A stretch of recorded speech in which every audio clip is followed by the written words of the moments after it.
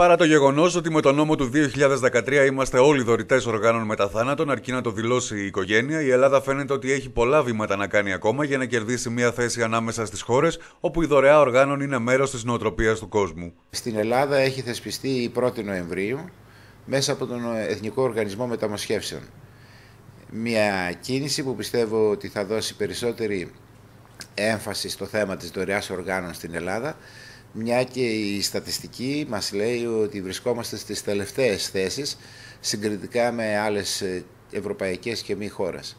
Η Ισπανία έχει την πρωτιά με το 33% ε, στο εκατομμύριο.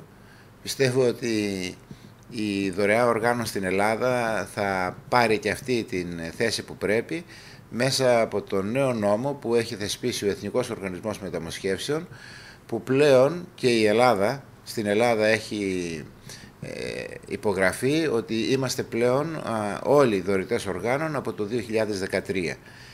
Το μόνο που απομένει και πρέπει να κάνουμε είναι να ενημερώσουμε τους, ε, τους φίλους, τους γνωστούς, την οικογένειά μας ότι είμαστε πλέον δωρητές οργάνων.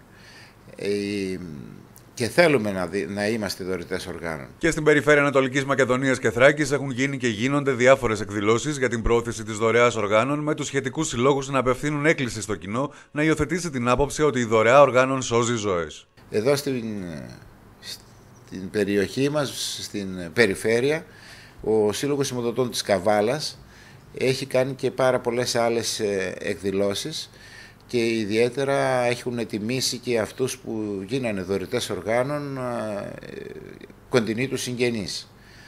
Ε, στην Ελλάδα, στην Αλεξανδρούπολη έχουμε πολλούς συμπολίτες μας που συγγενείς τους, αδέρφια τους, ε, παιδιά τους έχουν γίνει δωρητές οργάνων με την θέλησή τους και με, το, με την προτροπή και μόνο της, ε, του κοινωνικού ωφέλους.